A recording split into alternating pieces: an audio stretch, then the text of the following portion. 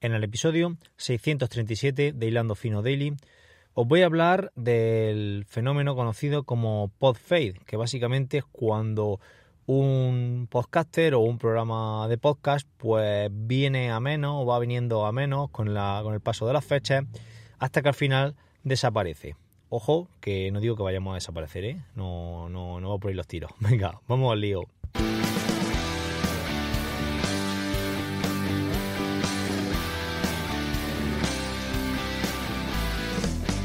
Buenos días, tardes o noches familia. Bienvenido al episodio 637 de Hilando Fino Daily, el lugar donde expreso todo aquello que se me va pasando por la cabeza sobre el deporte en general y el triatlón en particular.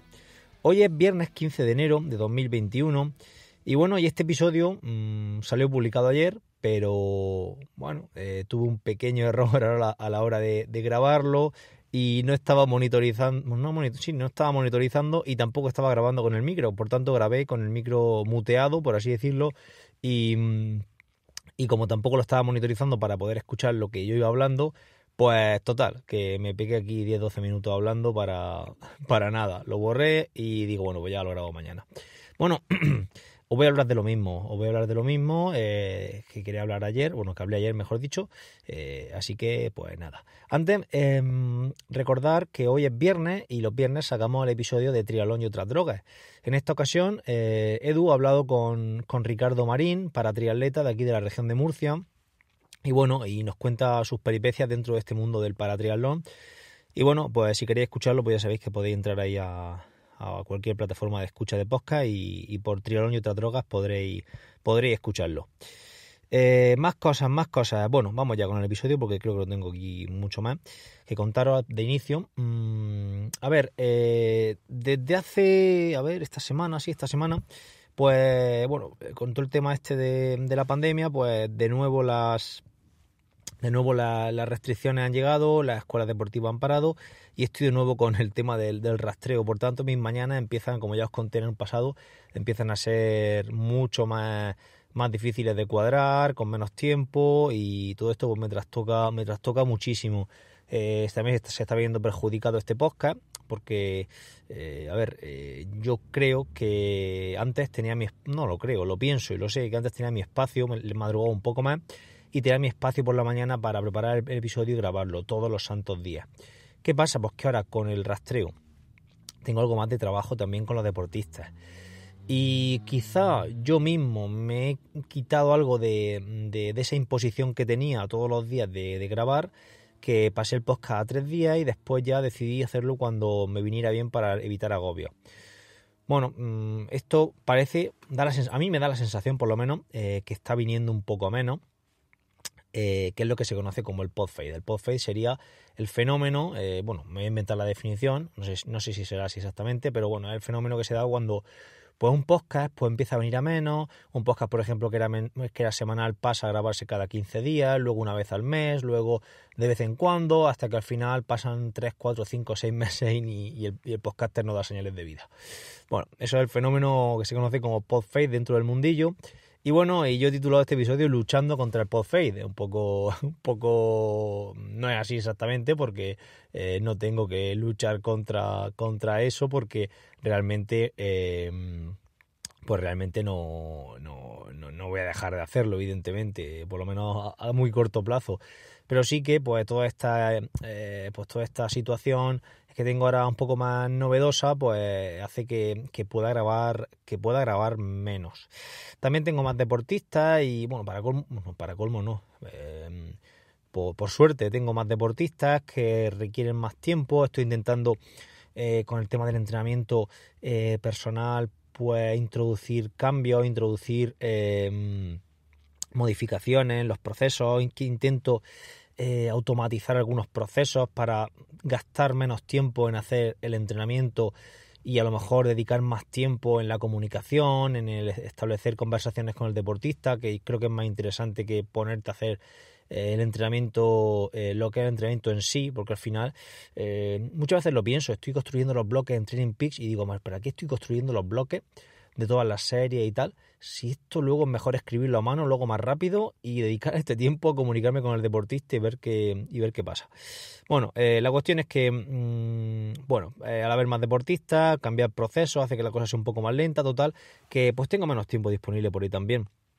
Entonces, bueno, pues todo esto le, estoy, le he estado dando vuelta a la cabeza de una forma, de otra, para intentar pues seguir con el daily eh, con las mismas condiciones más o menos que tenía anteriormente, es decir, que siga con cierta periodicidad el, el podcast, ¿no? Tengo algunas ideas y quería comentarlas aquí, eh, que básicamente por eso lo he titulado Luchando contra el Podfaith, porque tengo una idea para luchar contra ese Podfaith. Y me gustaría, pues, si tenéis alguna idea también vosotros, pues que me la vayáis compartiendo porque me, interesa mucho conocerla. En primer lugar, eh, he pensado, eh, me voy a comprar, de hecho posiblemente lo haga hoy, me voy a comprar algunos libros de, de entrenamiento, libros en papel, ¿vale? Porque, ¿Por qué en papel? Yo soy siempre avante y defensor del del libro electrónico. Pienso que es una forma pues súper interesante de llevar muchísimo conocimiento en poco espacio, de no tener eh, que estar preocupado por el polvo que acumulan los libros y el espacio que están ocupando. Pero, claro, eh, estás todo el día, estamos todo el día, mejor dicho, con una pantalla en la delante de los ojos, con eh, la tele, con el móvil, con tablet, con ordenador y la verdad que me apetece en ciertos momentos separarme un poco del ordenador o de un dispositivo electrónico y leer. Leer, no por el hecho de leer en papel ni nada de esto, y esas historias no me afectan, sino por el hecho de, de, proteger la vista. Entonces, pues me gustaría comprar algún libro. Voy a empezar seguramente con el de, por el de Cejuela, el de. Mm, no sé cómo se llama ahora, el de. Eh, no me acuerdo, no me acuerdo, no me acuerdo, no me acuerdo. Manual de, manual de deportistas de resistencia o manual de entrenamiento o manual para entrenar deportes de resistencia, algo así. Bueno, me gustaría empezar con ese. Y entonces, por ejemplo, algún, algún capítulo del libro, pues leerlo, empollarlo bien, eh, sacar notas, trabajarlo. Y una vez que lo tenga bien trabajado, venir aquí y contarlo en un episodio. Puede ser un tema que aporte muchísimo, puede ser muy interesante y además también voy a aprender bastante haciendo ese tipo de cosas. Entonces creo que voy a hacer algo de eso. Otro tema que, otra propuesta que, mm, he pensado, pues hacer eh, pequeñas entrevistas a, mm, a, personas, a oyentes incluso, que tengan algo que aportar. Por poner un ejemplo, el otro día, en el episodio donde hablé del tibial posterior, pues me parece ser que cometí una pequeña errata o a lo mejor algo que yo dije eh, eh, podía llevar a confusión, a confusión vuestra. Entonces me escribió un oyente por Telegram y me mandó un audio mm, corrigiéndome algo que yo había dicho. Entonces lo que le comenté es que se pasara por el podcast y hablábamos, hablábamos sobre el tema. Entonces me parece una forma súper interesante de darle voz a oyentes o a gente que tenga algo que aportar. Eh, el oyente es fisioterapeuta, por tanto, eh, pues bueno, no, no, voy a entrevistar a gente que entre comillas no, no, esté formada, ni tenga titulación, ni ese tipo de cosas. Eh, simplemente, o a lo mejor sí, si quieren contar una experiencia, pero si quieren contar algo a lo mejor un poco más, más denso, un poco más de, información, un poco más, eh, bueno, entre comillas, científica, aunque creo que esa palabra no está bien empleada aquí, pues bueno, es una buena forma, creo yo, de, que aporten. No tienen por qué tener eh, 10.000 seguidores en Instagram ni tener un canal de YouTube súper famoso. Eso, eso aquí no, da igual.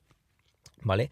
Eh, por poner un ejemplo, el otro día también nos escribió por Evox, en, en el Evox de otras drogas, eh, un deportista que era en triatleta y que creo recordar que era camionero. Yo le contesté diciéndole, porque, bueno, escribió algo plan eh, que dice, me gustaría contaros cómo hago yo para, para entrenar siendo camionero.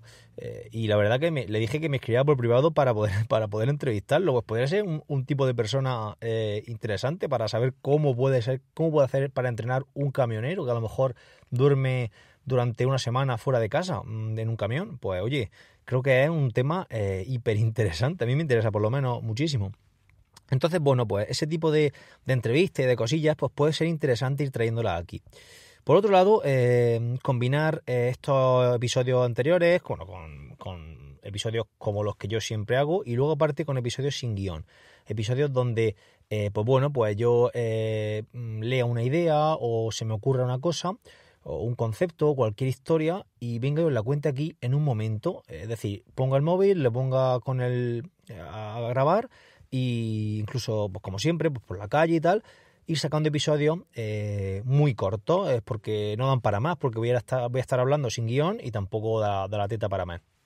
Claro, esos episodios, pues quizás pues no tienen que tener sus notas del programa en la página web como hasta ahora estoy haciendo, porque al final el problema de esto es mm, grabar y entonces luego vete al ordenador, eh, copia la escaleta en, en, un, en, un nuevo, en una nueva página para sacar mm, la página de, con las notas, eh, pega el reproductor de, de, de, Spreaker también ahí para que la gente que entre a la web lo pueda escuchar directamente. Pues parece que es una tontería, pero al final esos son 10-15 minutos que ya no son los 10-15 minutos en sí, es el hecho de tener que ir eh, ir al ordenador, acordarte luego de hacerlo, meterte al ordenador, eh, copiarlo, pegarlo, mm, publicarlo y luego ya si os digo lo de publicar en redes sociales, pues a mí algo que, me, es que no es que me, es imposible, pero no porque no tenga tiempo, es porque lo dejo, lo dejo y cuando he hecho mano digo, bueno, estoy una semana sin publicar en redes sociales nada absolutamente de los episodios. Bueno, eh, supongo que al final tendré que asumir que, yo soy así y que no y que para el tema de las redes sociales soy muy muy muy descuidado y, quizá debería de, de, cuidarlo más y de mimarlo más. Eh, no sé, es que hasta, hasta ya hablando un poco fuera ya de todo lo que yo quería comentaros, estoy está, hasta sopesado eh, tener la ayuda de alguien para que me publique en las redes sociales. Eh, no para que conteste mensajes, sino para que, mm, bueno, tampoco tiene que contestar muchos mensajes, no es que reciba yo una avalancha de mensajes en redes sociales, que tampoco eso, pero sí, eh, por ejemplo, publicar los episodios del daily, publicar las clases de la plataforma, que fijaros, eh, estoy terminando el episodio y no he dicho nada de la plataforma, y es que el miércoles sacamos las dos últimas clases de, del curso de, natación para triatletas en agua abierta de Enrique Planelle, las 5 y las 6, así que echadle un vistacillo si estáis interesado en ese tipo de contenido. Bueno, eh, pues una persona que me ayude eh, en ese tipo de cosas, en la publicación, en la creación de contenido para redes sociales. Eh, a lo mejor podría ser interesante, mm, no lo sé, lo he pesado, pero claro, sería ya pagarle a alguien, y no sé, no sé si, no sé si me compensará, no sé si me compensará en cuanto a, rendimiento, a, retorno económico. Bueno, mm, ideas que voy teniendo, ideas que quiero compartir con vosotros y que quiero ir, seguir con la línea que tenía el podcast y no quiero que, el podfade se apodere de mí, cosa que no va a suceder, lo tengo, lo tengo claro y si, y si sucede pues será seguramente mucho más adelante y no, y no ahora. Así que eh, bueno, esto es todo lo que quería comentaros en este episodio. Muchísimas gracias por estar ahí, nos escuchamos pronto. Adiós.